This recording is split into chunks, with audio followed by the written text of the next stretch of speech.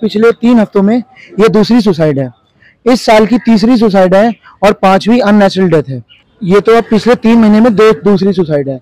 ये बिल्कुल भी एक्सेप्टेबल नहीं है कि आप इतने बड़े इंस्टीट्यूशन में हो एक आप सुसाइड कंट्रोल नहीं कर पा रहे हो।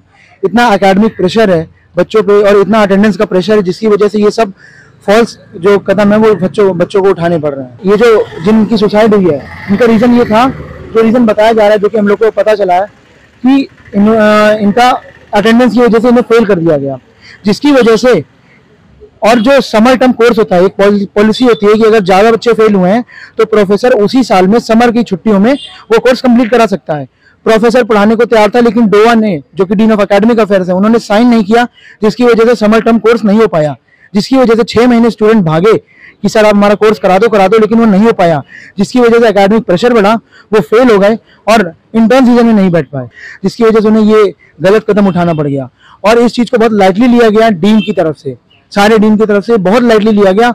और जो प्रोफेसर थे प्रोफेसर विनय वाज जो इंस्ट्रक्टर थे सीएससी कोर्स के, जिन्होंने 40 बच्चों को फेल किया गया। सर, एक बच्चा नहीं पढ़ता है दो नहीं पढ़ता बट ऐसा नहीं हो सकता कि 40 बच्चे नहीं पढ़ते हैं। इस साल में ये चौथी बार हुआ है। और हम फ़र्स्ट ईयर मतलब हमें यहाँ पे आए हुए सिर्फ़ डेढ़ साल हुआ है।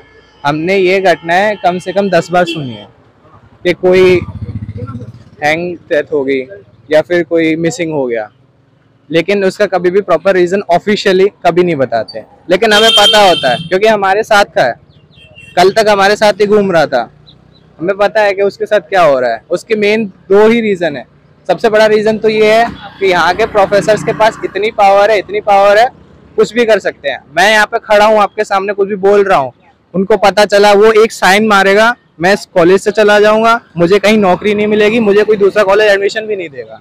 सेम पिछले पिछले महीने जो दीदी एक सुसाइड हुई थी गर्ल्स की, उसमें भी सेम यही सीन था। उनका पीपीओ था प्री प्लेसमेंट ऑफ़र वो भी जॉब पंद्रह दिन करके आ चुकी थी, लेकिन उनको भी फेल कर दिया, जिसकी वजह से उनकी जॉब कैंसिल हो गई। यहाँ के प्रोफेसर बहुत ही ज़्यादा इनसेंसिटिव एंड बहुत ही ज़्यादा एरोगेंट है they are not ready to hear anything जो प्रॉब्लम है सुनना ही नहीं चाहते हैं আপুনি বিচৰা বাতৰি পাব কেৱল নিউজ এইটিন এপত নিউজ এইটিন এপ ডাউনলোড কৰিবলৈ স্কেন কৰক এই Q R code Google Play ষ্টৰতো পাব এই নিউজ এইটিন এপ